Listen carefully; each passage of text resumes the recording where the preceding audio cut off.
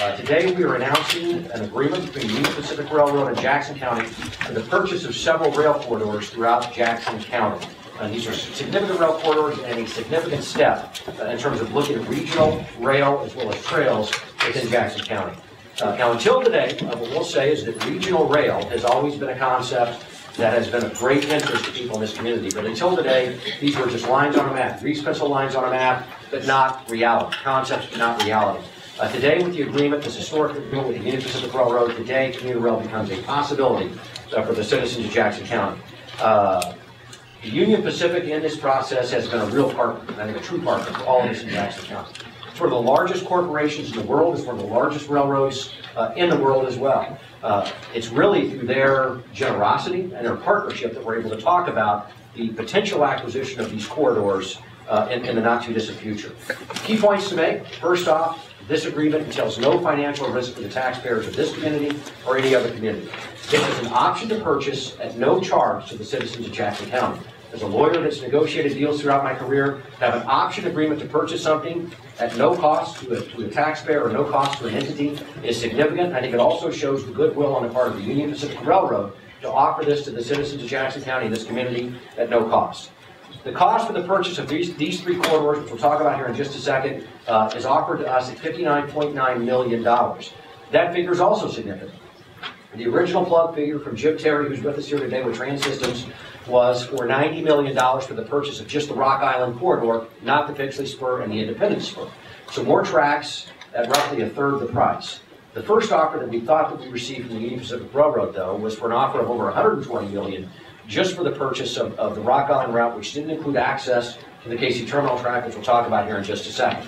So we're getting a better deal at a third or half of the price, which we think is significant and once again shows the great generosity and the partnership of the Union Pacific Railroad and how they've worked with us as real partners in this project. Uh, What we're going to do is work as a coalition. We've got a number of elected officials. We've got the city manager, Steve Arbo, Arbo of the city of Lee's Summit, Dave Bauer, uh, mayor of the city of Raytown. We have Don Reimal. um, Am I right? Don Reimal, the mayor of the great city of Independence, one of the great cities in the world. Uh, The city of Independence, the one we're in here today with us here to talk a bit about this project. Uh, But we're going to work with the coalition partners to attempt to look at the financing and how we would put this together. But just as importantly, as this process has wound through over the last 24 months, as we've worked with the Union Pacific Railroad in partnership, uh, we've continued to keep our congressional delegation updated about this process. Uh, We're told by Congressman Cleaver's office specifically, as well as others, that it's realistic, uh, it's not unrealistic, I should say, to think that through the federal government, through a grant, through something like a Tiger grant, that we could receive the full purchase price uh, for this right-of-way. Also of significance, and we think once again a sign of the goodwill and generosity of the Union Pacific Railroad, is that the Union Pacific has also included provisions in this agreement for owner financing. So if a portion of the, of the purchase price could be obtained in the future, uh, that we could pay that off over, over a period of time, which could include in fact years. Uh, Once again, at no cost to taxpayers. So once again, I think showing the generosity of the Union Pacific Railroad. Uh, Also of significance, we think, is that Jack Koraleski, the CEO of Union Pacific, is the one that signed this MOU on behalf of the Union Pacific. I certainly did on behalf of Jackson County. And we think, once again, that shows the interest of the Union Pacific Railroad, that it goes no higher on the food chain than Jack Koraleski, the CEO, actually signed this agreement. It wasn't signed by the Director of Rail Operations or PR staff. It was signed directly by him, uh, which we think is also significant. Uh, Now, Rail can certainly be used along these corridors, but what was always contemplated was that it would be used for trails as well. Uh, You can look at these corridors and see how the Rock Island corridor, which I think we've got the map in the back, as you look at the Rock Island corridor, it hooks up ultimately down here, as I hit Mike Hendricks in the head with the pointer, I'm sorry, Mike. As we look at Greenwood, how it ties in with Greenwood and ultimately the Katy Trail, uh, talking with Mr. Arbo, there are plans with the city of Lee's Summit to move the Katy Trail north along 150 and a few other routes, which would hook directly uh, with the Rock Island, would connect with the Katy Trail. Uh, That, in turn, hooks in with the Little Blue Trace Trail potentially for Jackson County, as well as a number of hiking and biking trails through Swope Parkway, the city of Kansas City, Blue Springs, Independence, Lee's Summit, certainly Raytown. And so you can see in the not-too-distant future, just with this one potential acquisition, uh, you can see an integrated network of trails that certainly connects every community in Jackson County with frankly the state of Missouri and St. Louis. So theoretically, you could leave your house at 63rd and Brookside, hook up on, on, on the trail there, make your way all the way to the city of St. Louis and never leave a hiking or biking trail. that in and of itself has significance regardless of whether this is used in the future, in the future for rail or rail, rail projects. Uh, Once again, want to make sure we emphasize the importance of this project and how uh, this would not be possible without the Union Pacific Railroad working with us. Now, if you look at these corridors, and it's hard for me to talk in the microphone and turn and do this, but I'm going to give it a shot. But if you look at the corridors, this is the Rock Island Corridor. This is the Pixley Spur, uh, which is roughly 3.5 miles, which heretofore uh, had not been offered by the Union Pacific Railroad at any price. Uh, But beyond that, we look here at the Independent Spur line, which is 1.9 miles. Now, the 1.9 miles, uh, we believe is owned largely, if not wholly, by Jackson County, uh, Jackson County government. However, this 1.9 miles uh, was a former Union Pacific route. What they have done at no cost is ceded their rights orally, ceded their rights to that 1.9 miles. Whatever ownership interest they may have been found to have in the future uh, will be ceded ultimately to Jackson County. Now, one other item that we wish to point out. We started negotiating uh, roughly two years ago, working with uh, the Union Pacific in terms of trying to piece together uh, access to these rights of way. Uh, There were two truisms that we were told about commuter rail in in Jackson County. And one was, you'll never get to Union Station because you'll never get into the trench. Uh, That will never occur. We stand here today, that still remains true. Uh, The second is, never discuss access or commuter rail access to the Sedalia sub, which is this route right here. Uh, Another truism, as night follows day, as the sun rises and sets in the west, you'll never run a commuter train on the Sedalia sub. Uh, Today, we're also announcing uh, that once again, through the generosity of the Union Pacific Railroad, that for the first time in county history, they're willing to explore running commuter trains along the Sedalia sub. Uh, We can look at that for engineering work, look at that for access, but that makes that a possibility as well. Uh, You don't have to be a rail engineer uh, like Jim Terry to see the significance. The Pixley Spur immediately ties into the Sedalia sub and ultimately flows down to Third and Grand, as well as the KC Terminal route that flows off that. So almost overnight, with the purchase of these right-of-ways, should that occur in the future, should we decide that that's a priority, uh, you're looking at commuter rail becoming a possibility in fairly short order, uh, working with our, our partner in this project, Union Pacific Railroad. Uh, we think those are significant del- developments, those are important developments, uh, and for the first time in county history, we can say that commuter rail is a possibility, not just an idea on a map. And with that, we've got a number of our other partners that are with us. I'm going to first, I think, start to my right, move to the left. I rarely do that in life, but I'll start right. And I'll start with uh, my mayor first, uh, Mayor Lionel. Uh, on behalf of, uh, of of all the partners, now we put this announcement together fairly quickly when we were given authority to move forward publicly with this by the Union Pacific and our other partners. Uh, We certainly want to make sure that we mention Blue Springs, and Carson Ross has been a huge partner in this process as well, as well as the city of Grandview through several iterations. But once again, as always, whether it's the city of Independence, Raytown, Lee's Summit, as well as Blue Springs and Grandview, we've all worked together very quietly, working together to make this happen. I also want to make sure that I thank all the members of the legislature. I mean, this has been, I think, for all of us, a long odyssey. I know we've kept you updated, you've been involved in this process all the way through. I want to thank each and every one of you for your support in this process, and because of your support, uh, your agreement, and your working with us, and all of us working together as a team, as a partner with all of Jackson County, uh, we've got a great announcement here today. And with that, I want to turn this over to Don Lyon. Fine. Is this, I think it's all- Here, let's start. we'll just make this one work. This is an opportunity that doesn't come along but once in a lifetime. We've got to take advantage of it. We need to move on this and make sure that, uh, while we're offered, that we take advantage of and make the commuter rail possibility and the trails a reality. This is something that the people in, in Jackson County can get their arms around and, and work with. We can do wondrous things for the economic development of Jackson County. Once you have commuter, uh, commuter rail, once you have that transportation where you can move people quickly and efficiently, you can bring in businesses that we've never even thought about.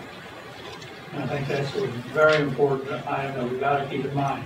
Take advantage of what we have been offered and make, make the trails a reality and the commuter rail, uh, it will come. So we need to do it. Before, uh, before I turn, before I turn this over to Mayor Ballard, I want to make sure that I mention John McGurk, the Chief of Staff of the Mayor of the City of Kansas City is with us here today. Uh, Once again, the City of Kansas City has been great partners in this process, although these rail routes largely run through eastern Jackson County. Everything that this involves works in partnership with the city of Kansas City. These are two wholly complementary projects as these governments and all the governments represented here today continue to work together to look at how we make this a reality for all the citizens. And with that, I'll turn this over to, to the man who's going to be the forward on our local mayor's basketball team, Mayor Bauer. He won't play very long, but he's happy to be there. You know, it is big. It's a big day for the region. It's a big day for the city of Raytown, certainly. As my friend Don Reinhold pointed out, it- it's big for economic development, what this does for all of us. But, but when you also talk about the feel good that it does for all of our citizens, in fact we, we have this potential for a trail, you know, bike path, pedestrian path, the linkage that it provides all of us is phenomenal. And you cannot put a value on good for our citizens. And that's, that's probably the biggest thing. When we talk about a coalition, you've all, you're also experiencing a coalition of these governments. We have worked together, many people have worked together from our individual cities for a good number of years to put this together. I, I thank you, and Mike, I thank you for all of your hard work in bringing this to fruition. Big day. Uh, Mayor Randy Rhoads uh, sends his uh, very best to each of you and his apologies for being here. He had a commitment that would not allow him to be here. So as a city manager, I'm speaking on, on his behalf. And uh, the city of Lee's Summit initially began exploring the purchase of the Rock Island Railroad in the early 2000s. We had a lot, as you know, we've been a growth community. We had a lot of roads that needed to be expanded. And um, every time we went to Rock Island Railroad to ask for permission to, uh, to do a road crossing, we were received negatively. Um, and it was, uh, it was becoming, frankly, it was becoming a frustration. So we asked the Rock Island Railroad, especially for our Chipman Road project, which if you all, uh, know about the single tunnel, uh, that now has a light in it. It's not as exciting as it used to be to go through it. Uh, it's a traffic signal that makes the other side stop. But, um, we, we asked them, what could we do in order to change this uh, environment? And that was the very first time they started uh, being open to purchase. And that's when we formed a uh, coalition of five communities, uh, including uh, Jackson County. And uh, frankly, we needed Jackson County, we needed your help and, and uh, Mr. uh, Spencer, uh, Bob Spence, thank you for your leadership in our, in our area as well. Uh, We needed the county's help uh, to take a regional approach to it. Now, what it does for Lee's Summit, the city of Lee's Summit does several things. One, it creates a opportunity for bicycling and pedestrian, um, not only transportation, but a, a quality of life that will be elevated for our community. It gives us hope on an economic development opportunity at I-470 and View High, uh, where long-term we see the potential of a commuter stop uh, and uh, major development occurring there. And then finally, it gives us an opportunity to be better connected to our other communities and give us a chance for what I will say the 50-plus, and I know that none of you are 50-plus, but when you become 50-plus, you begin thinking about other methods of transportation uh, and maybe not driving your cars often, but still wanting to be active and engaged in all the, the uh, cultural amenities and activities. So this way, we can go directly to the uh, Chiefs football game, uh, the Royal games, uh, perhaps even go right into some of the things in the center of of Kansas City, Missouri, without having to worry about our eyesight and um, getting home after, after the event. So lots of pluses for us. Thank you very much uh, for being willing to take the leadership and uh, to move this very important uh, opportunity forward for us. I'll just kind of wrap this up with a couple of quick comments. I've already mentioned Jim Terry and TranSystems, and he's no stranger to anybody on the legislature, certainly here with the county government. Uh, Union Pacific have been great partners, we've all worked together. The reality is, his relationships within the railroad industry, uh, his knowledge of how to piece these projects together, we wouldn't be here today uh, talking about this announcement, or talking about the possibility of commuter rail in Jackson County without Jim Terry's vision. So Jim, I want to make sure that we publicly thank you. Uh, He's really not only the looks, but he's the brains of this operation, so he's really put this together in a lot of ways. And he'd be kicking my chair if I didn't finish where, where Steve also went, and that is if you look over Steve's head and Mayor Bauer's head, uh, you look at the access and connection to Arrowhead and Kauffman. Uh, Spring season, it's, uh, opening, opening for obviously the Royals, so we're still mathematically not eliminated. Uh, we can also look at the Chiefs, we've had some pretty good, pretty, pretty good season last season, so hope springs eternal. And imagine, uh, being able to, whether you live in downtown Kansas City or somewhere along any one of these routes, getting that close to Arrowhead and Kauffman Stadium uh, to watch our sports teams play. Uh, if you look at the distance between that and these stadiums, it's closer than you can park a lot of the spaces around that stadium. It's exciting to think of what this means economically for all of us. And not lost on me is, we had the, uh, we had the All-Star Game, uh, last year. The only complaint we had about the All-Star Game is, we can't get to Arrowhead, I'm sorry, Kauffman, Kauffman Stadium to the game and the other event centers around Kansas City. It's very inconvenient to travel uh, through Jackson County, but we would be interested in coming back to Kansas City in the future. This is exactly the kind of project that makes Kansas City and puts us back on the map, puts our community back on the map for these kinds of projects, economic development, jobs. They generate so much interest, it's, uh, it's very exciting for us. And with that, I'll open it up to any questions or comments you might have. Thank you, Mike. Um, I'd just like to say a few things real quick. Um, I know that I just recently attended a seminar and talked about viability and what makes a community healthy, not just for cities, but for an entire county. And that is the ability to move residents throughout. And I know that yourself, as well as a lot of other members in this audience, have been very, um, you know, have put in a lot of work on this. And they say persistence shows off, so your vision, your persistence, as well as everybody that has been part of this has definitely showed off, uh, you know, has definitely been displayed today. Um, I wanted to say congratulations to everybody that has put in the time and effort because it has been a process and it will continue to be a process. Um, is there any, any questions that would, the members of the body would like to ask? And Bob, we certainly want to hear from you, the elder statesman in the legislature here. But but thank you for that, and- and I appreciate you giving this group here some credit, but the reality is the credit goes to the legislature as well. You've been partners, you've all worked together to make sure this happens. Without everyone working together as a team, the mutual support to get this done, we wouldn't be here talking about this, so, so thank you again. And you think about long-term, how we plan for a community, you think about what this community needs to look like 20, 30, 40 years from now, you're absolutely right. You look at millennials, in terms of what they want, study after study. Now, as an Ohio State grad, I rarely want to talk about the University of Michigan, but I'll do it in this one context. They did a study of millennials, 35 and younger.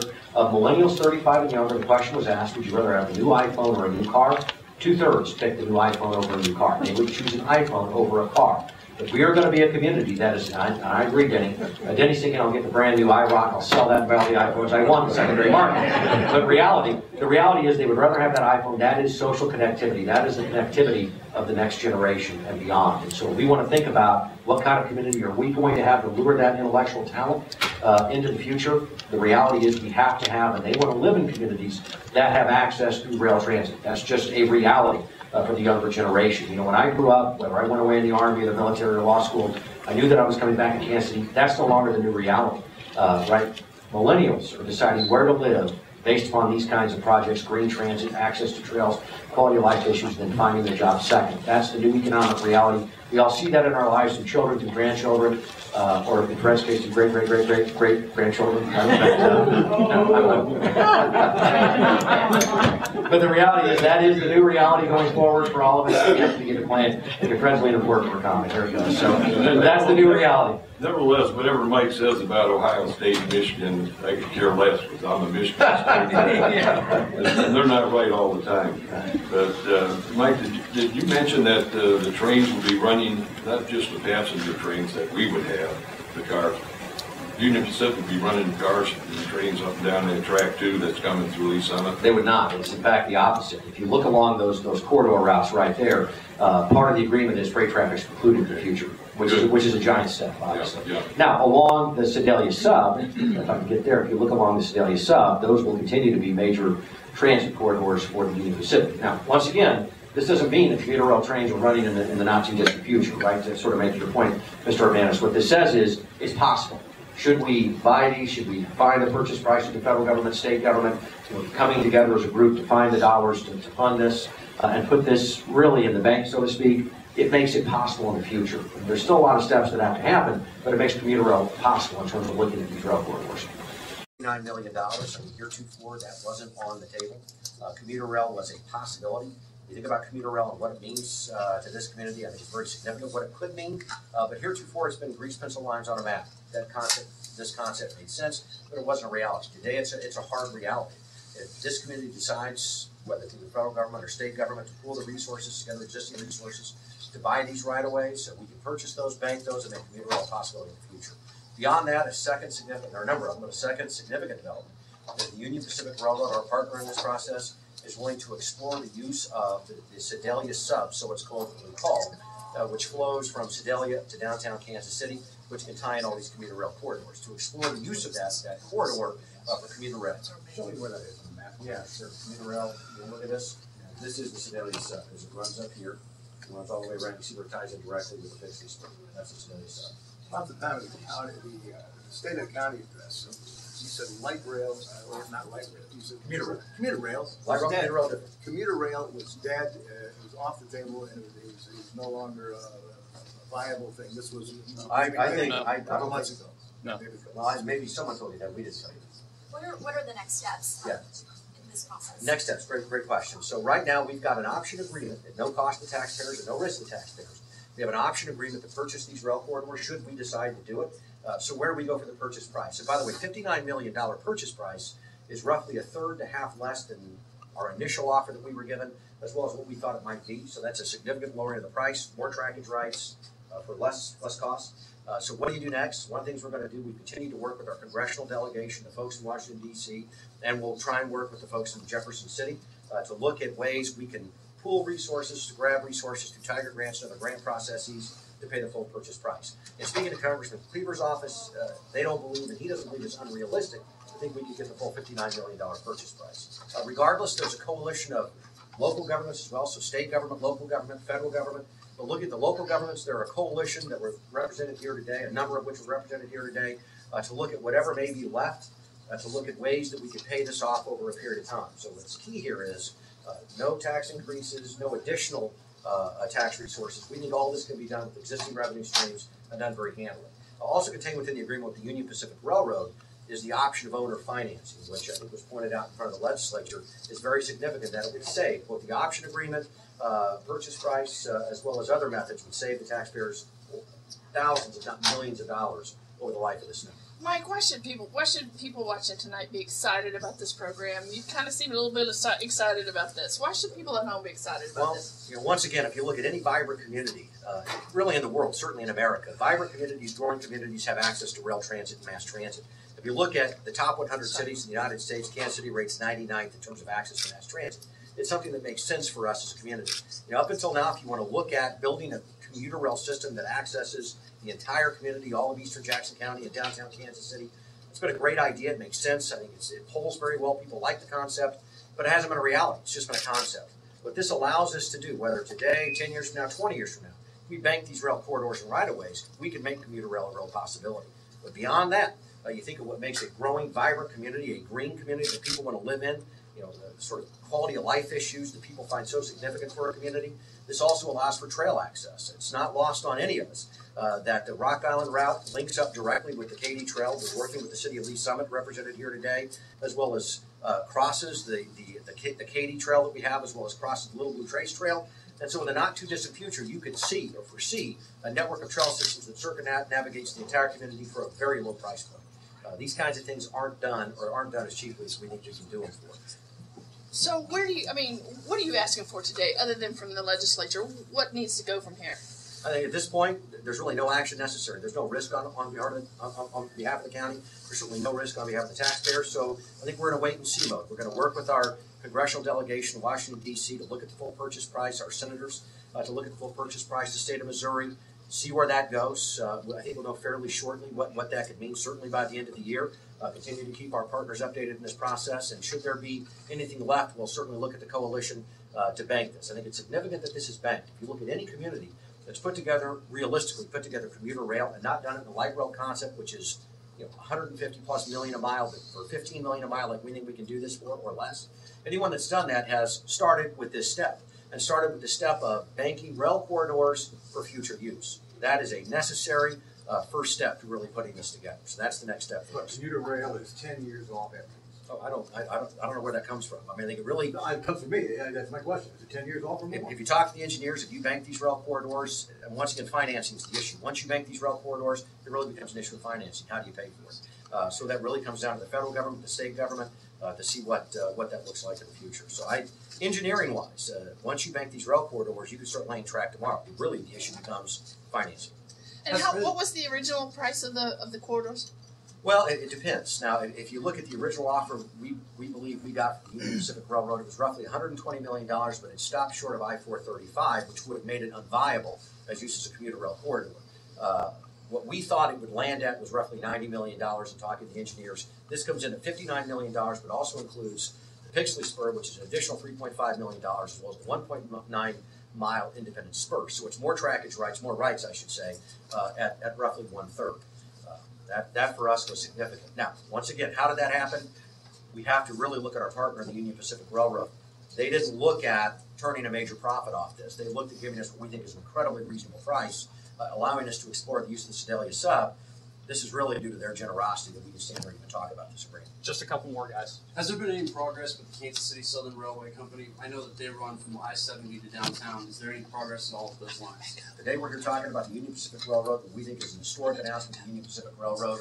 Uh, Like we didn't do uh, previous to this announcement, we didn't discuss any negotiations, they may or may not have been ongoing. But today, we're talking about a deal with our partner, the Union Pacific Railroad, and really, uh, I I think a significant step forward for commuter rail. But don't you also need to deal with Kansas City Southern? If you look at what you could put together, if, if you look at the Sedalia sub, you're able to access Independence, virtually all of eastern Jackson County and get downtown with the Sedalia sub. Uh, so this Union Pacific agreement and the potential exploration of use of the Sedalia sub is significant in terms of that alone can piece together a commuter rail plan that works for Jackson County. My question, what, my question I've was, answered your don't, question. don't I've you your know, question. don't you think that you need Kansas City Southern as well? Who's also important to the elections? I think I've answered the question, I'd like the answer, but I've answered the question. Joe? I think we're good guys. How would you use, uh, Pixley Spur to get downtown? Pixley Spur, so as, as we showed with mine, if you look at the Pixley Spur, here it is, it runs from essentially just east of two ninety-one, uh, flows to the Sedalia South, to the downtown Kansas City, it's just, it's a linear path on the map. Where does it end? Uh, I, it may end somewhere in Florida, I don't know, but it certainly goes to Sedalia, so, The uh, part you just bought. Thank you, somewhere down. The city isn't shown yet, that's just. Oh my gosh, oh my gosh, that, that, that's for analysis. All right, we got we got a change for empty, guys. We got to pass this here. Sorry. Mike, don't leave it on Mike. All right, I'm not leaving with mine. Hey, Mike.